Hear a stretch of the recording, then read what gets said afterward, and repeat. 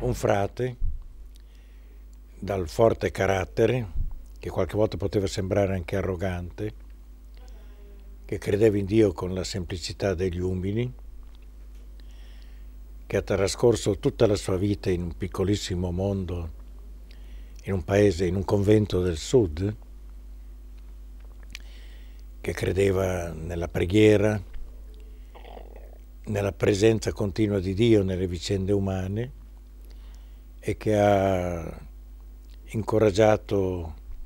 tanti disperati e dato un po' di luce della gente che viveva nel buio.